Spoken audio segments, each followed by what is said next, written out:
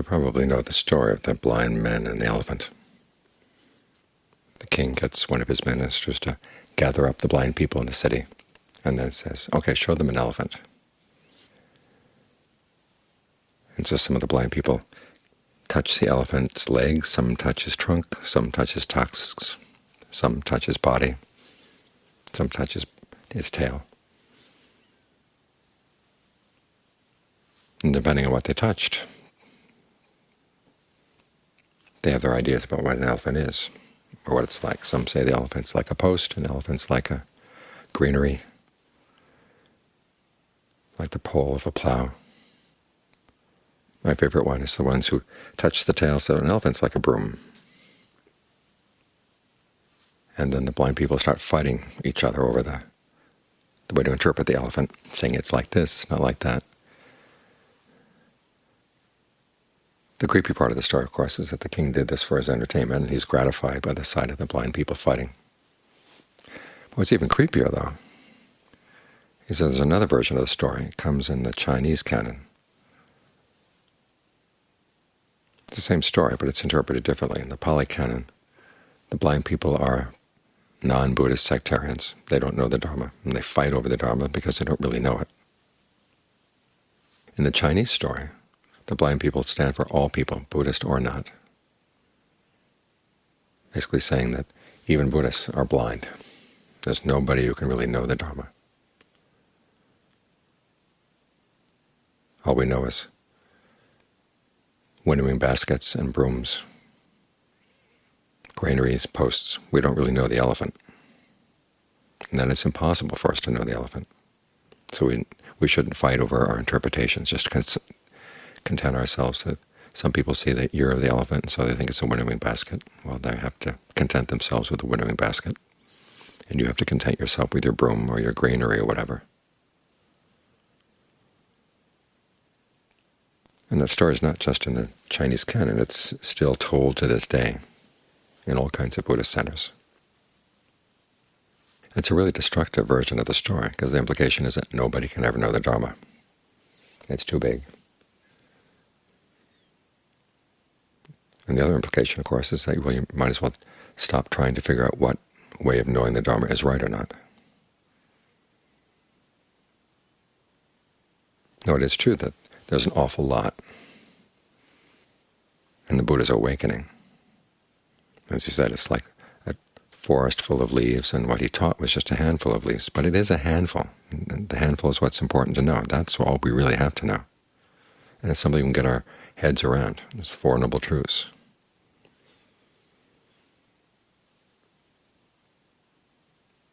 That's not all that much to comprehend. To paraphrase Ajaan Lee, there are people out there who can manage orchards of thousands of acres. And here we have just four noble truths, or four jhanas. We can't get them straight. It's kind of embarrassing. The implication being, of course, it's not all that much that we have to master.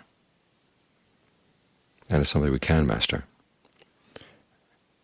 And we're not going to spend our lives always being blind. After all, the Buddha was one with eyes, and one of his images for the path, or his act of teaching, is that he's a doctor who can cure people of their blindness. You probably know that story as well. There's a blind man, and someone gives him a cloth. It's a dirty old rag, but the person who gives him the cloth says, here's a nice white piece of cloth that looks really nice on you. So the blind man takes good care of the, the dirty old rag, thinking it's a nice white piece of cloth. And then his friends and relatives take him to a doctor who can cure him of his blindness. As he gets his sight back, he looks at the cloth. He sees it as a dirty old rag. What he thought was valuable was not. The gaining of sight, of course, is the gaining of the Dharma eye. When you see that there really is something deathless, and it can be attained through the path. So we're here to get over our blindness. And we have to take it as an encouragement that it is possible to get over our blindness. Don't listen to the people who say that you can't. Just this evening there was a magazine that arrived in which someone was writing about how when he started on the Buddhist path he was hoping for enlightenment. And what got instead was awakening to the fact that there really is nothing to know, you should satisfy yourself with this state of not knowing. That, again, is a destructive way of thinking. There is something to know, and when you know it, it makes a huge difference. On the one hand, it confirms the fact that your actions really do make a difference in your life. You know that if you hadn't acted on the path, you wouldn't have reached the deathless. You wouldn't have seen the deathless. And you also see, in stepping out of space and time, just how long this process of suffering has been. It gives you all the more encouragement to do what you can to get past it, to complete the practice. Even though you realize in, in gaining this vision, you've cut off a lot of the suffering that you would have you would have had to gone through if you hadn't gained this this vision, this sight.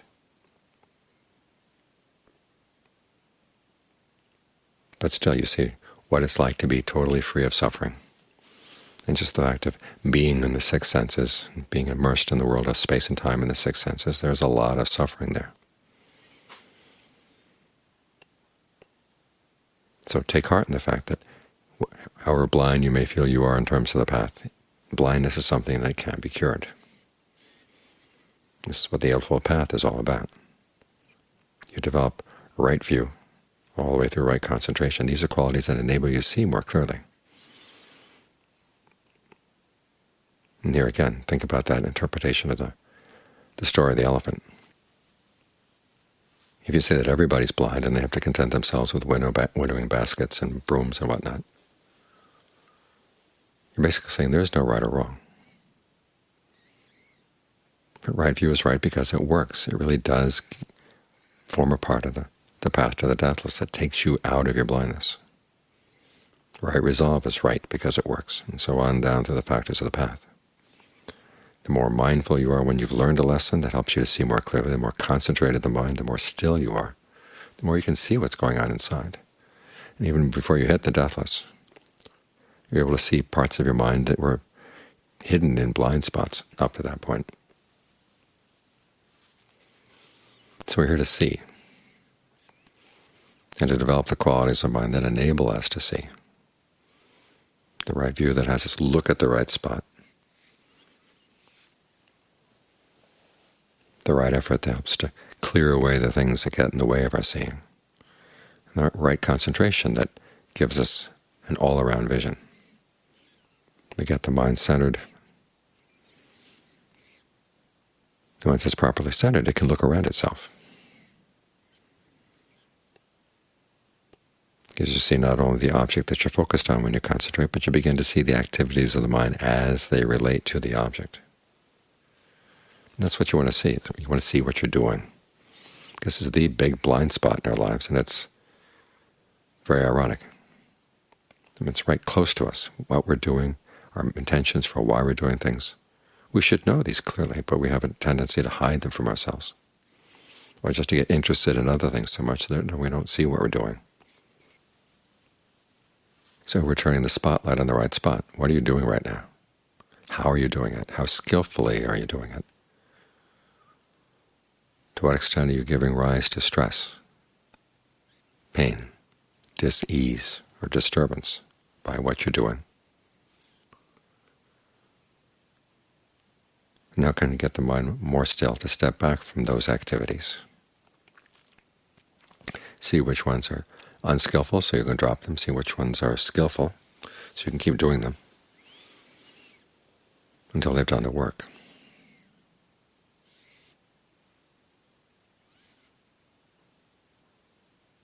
We keep following this path, and as the Buddha said, eventually it will take us to a, a place that we haven't seen before, to see the unseen.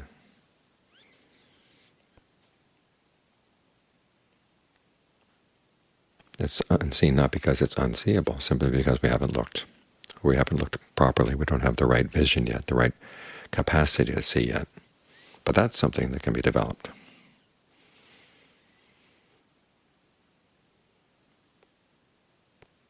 That someday we really will see the whole elephant. We can throw away our concepts of winnowing baskets and brooms and granaries.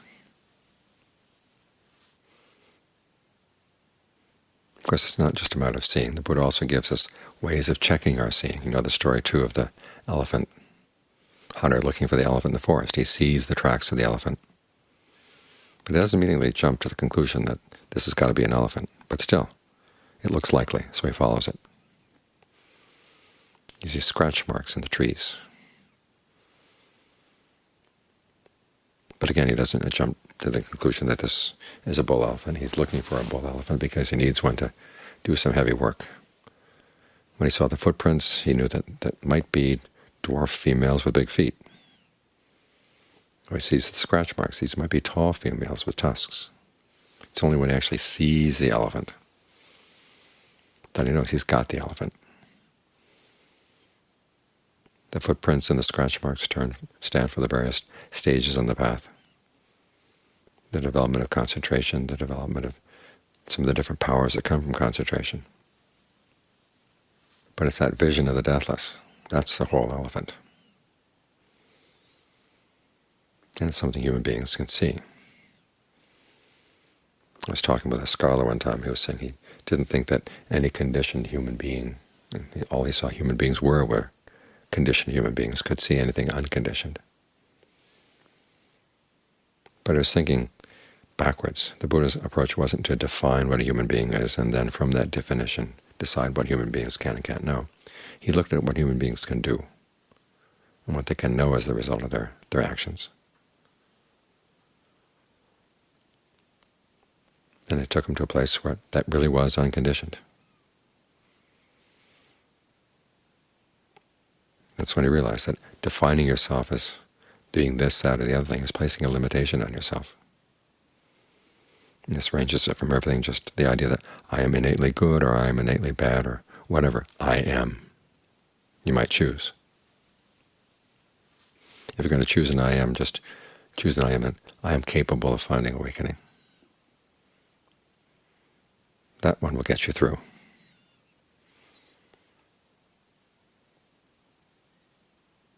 And you know that you have the capability to see the whole elephant when the whole elephant appears. That's the proof